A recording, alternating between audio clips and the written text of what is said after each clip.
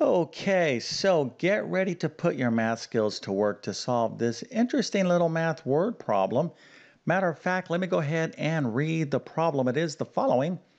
Four railroad cars is 2 19ths of a train, not including the engine. How many cars does the train have? Okay, so that is the question. Feel free to use a calculator, but if you can figure this out, go ahead and put your answer into the comment section. But uh, before we get going, let me quickly introduce myself. My name is John, and I have been teaching middle and high school math for decades. And if you need assistance in learning mathematics, check out my math help program at tcmathacademy.com. You can find a link to that in the description below. And if this video helps you out, or if you just enjoy this content, make sure to like and subscribe, as that definitely helps me out. Okay, so first things first, uh, you know, when we're dealing with a math or word problem, you always need to use the rule of three. Okay, now what is the rule of three? Well, don't do anything until you read the problem at least three times. Now, of course, I've already read the problem a couple times uh, already, but when you read the problem, just don't kind of, you know, uh, do it in a half hearted way. In other words, like, okay, this is, you know, four cars, two 19s, I got it, I got it, I got it. That's not the point. The rule of three is you read the problem one time, get a sense of it, and then slowly read it again and let your brain kick in to come up with a strategy. And then the third time you read the problem, make sure you understand the question. Now, this is a pretty easy problem but in more sophisticated or more complex uh, math problems, the question is not so clear. And if you don't understand the question, well, you're not going to understand what to do to solve the problem. Okay, so here, once we've already read the problem and we're like, okay, how many uh, cars does the train have? I got this information about uh, cars and not uh, some sort of fraction of this uh, train. And, uh, you know, of course, I have these four cars. Like, how do I put this all together? Well, what we're, what we're going to need to do is model this situation. And this is where math becomes kind of fun and creative because uh, different people can model this in a different way. And each way is perfectly fine as long as it makes sense to you and it would make sense to someone else. But in a situation like this, nothing beats a picture. A picture is worth a thousand words. So if you can draw a quick uh, sketch or diagram of, of the math problem that you're working on, that's always really, really a good starting point. Okay, so here is our train. Of course, we get to draw a little train as well. Matter of fact, I guess I can, should connect it right there. so here we have four cars, right? So one, two, three, four. Here is our lovely engine, okay? And uh, these four cars represent 2 19ths of the total train. So let's just make sure we have this situation right. So four cars, okay, is 2 19ths of the train, and that doesn't include the engine. Okay, so let's go down here and make sure we have this right. Okay, so 2 19ths, uh, four cars, one, two, three, four. And of course, this uh, uh, you know train continues. Uh, these four cars represents uh, 2 19ths of the train, not including the engine. Okay, so how can we use this kind of uh, visualization of the problem to help us out? Well, the question is what? Well, the question is how many cars does the train have? Now, anytime you have a math problem and it's like how many, if you're looking for some sort of unknown value, uh, one of the best things you can do is use a variable to represent what you're looking for, okay? Because a variable is a number, okay? It represents a number, and if we assign this mystery number to represent uh, the answer to the question, how many cars does the train have? Well, it has X cars. Okay, well, uh, you know, we need to kind of formalize this, right? So let's go ahead and uh, depict it this way. So this car, uh, this train is going to have X total cars. Okay, so hopefully I didn't uh, stumble and bumble too much to explain that. And again, there's different ways you can model this situation. All right, now uh, this is effectively the problem, but what do we do here? Well, uh, we have a variable and we can't answer this question here when you have a variable without setting up an equation. So we need to start thinking about how can we set up an equation? How can we pull all the information together such that we can uh, find the value of x? So let's go ahead and take the next step. And that is, of course, uh, assigning this variable in a kind of formal way. So when you are doing math word problems, uh, you always again want to be thinking in terms of who is who may uh, be reading your work. Now, you might be saying, well, no one's going to read my work because once I get done with this thing, I'll throw this in the trash.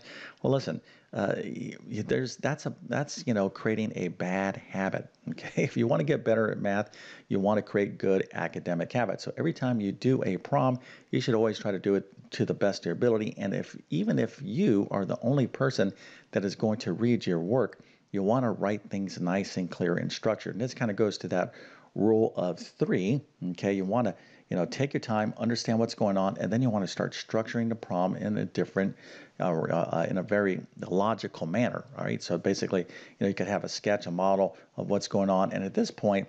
Uh, we're going to assign this variable x to equal the total amount of cars. All right, so once we've done that, then we want to uh, establish an equation, which of course I have right here. I'll explain this in one second. Then we want to solve the equation and then answer the question, right? So, you know, these math word problems, especially algebra word problems, generally have the same kind of flow, right? This is no different than telling a story. Uh, so, all right, so hopefully you get the main idea. Okay, so we're going to let x equal the total amount of cars. And now we can go ahead and write an equation because we know that 2 nineteenths, okay, 2 nineteenths of the total amount of cars is four cars. All right, so let's go back and double check this. It's okay, well, four cars is 2 nineteenths of the train. Well, how many cars is the train? Well, it's X cars, right? So 2 nineteenths of this number is four cars, right? So if that makes sense to me and hopefully makes sense to you. So now we have a lovely equation. So 2 nineteenths of X is equal to 4 and now what do we have to do? Well, we have to solve this equation. And because we are using um, a variable and we constructed a basic equation, well, we need to know how to solve a basic linear equation with fractions. Okay, so let's go ahead and see how we can solve for x here. The easiest way to solve this equation, and if you don't know how to solve equations, I'll give you a couple suggestions at the end of this video. But when you have a fraction in front of a variable like this, what we want to do is get a 1x. Now, let me go ahead and give you a quick example. If I have 2x is equal to 10, to solve for x, the object, the, the object here is to get x is equal to a number. All right, but I have 2x, so how can I get just x or 1x? Well, easy. I can divide both sides of the equation by 2. So the golden rule of algebra is whatever you do to one side of the equation, it's perfectly fine as long as you do it equally to the other side. So 2 divided by 2 is 1 or 1x, so 10 divided by 2 is 5.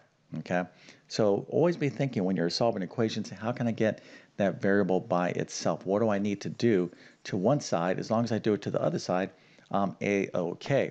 All right, so when it comes to solving equations with fractions in front of the variable, and the number in front of the variable is called a coefficient.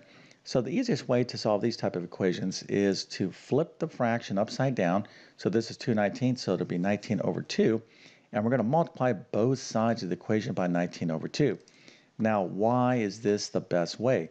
Because 19 over 2 times 2 over 19 when I multiply fractions, again, when you multiply fractions, you're going to multiply the respective numerators by the respective denominators. You can see all this is going to be equal to 1, and that's what I want, okay? So what do I have to do to 2 19ths in order for this to uh, be a 1? Well, just multiply it by 19 over 2, but I got to multiply the other side of the equation by 19 over 2 as well. Okay, so 4 times 19 over 2 is going to be 4 over 1 uh, times 19 over 2. 2 goes into 4, 2. 2 times 19 is 38, or 4 times 19. Get that number divided by 2. The answer is 38. Okay, so again, we have to be very careful on uh, what the question is asking is how many total cars. So you could write down 38 cars, and but if you weren't sure what your teacher was looking for, you could be like, well, 38 cars. Well, that would be also 39 cars uh, plus the engine in total. Okay, so now, if some of you are saying, well, all right, this was a kind of a slick way to uh, solve this problem, Mr. YouTube Math Man. And again, if you didn't um, solve this problem in this manner, no big deal. As long as you got it right, that's what counts. But eventually, if you uh, you know, are going to progress into mathematics, you're going to have to know some algebra, right? So always, you know, uh, use algebra when you can. It just makes everything easier. Now, if you need additional help in algebra, check out these courses right here. So pre-algebra is uh, for those of you that are studying basic algebra. But uh, if you are further along in mathematics, then you may want to check out my Algebra 1 or Algebra 2 courses. Now, my Math Skills Rebuilder course is a review course. I cover basic math, algebra, and geometry in this course. I'm going to leave links to all these courses in the description of this video. All right, so with all that being said, I definitely wish you all the best in your math adventures. Thank you for your time and have a great day.